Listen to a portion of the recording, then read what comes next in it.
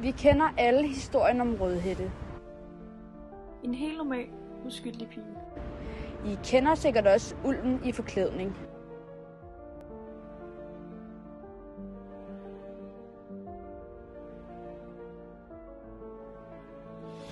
Selvom det virker indlysende udenfra, at ulven er i forklædning, så kan Rødhætte ikke se det.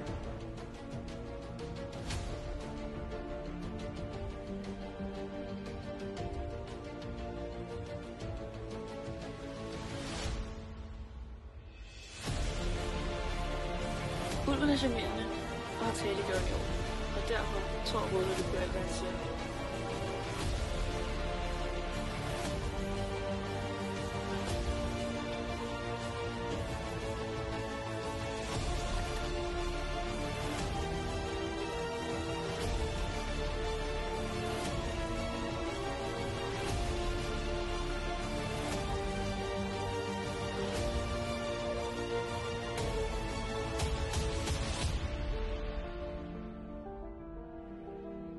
Rødhætte blev bliver eventyr reddet, efter hun har begået sin fejl.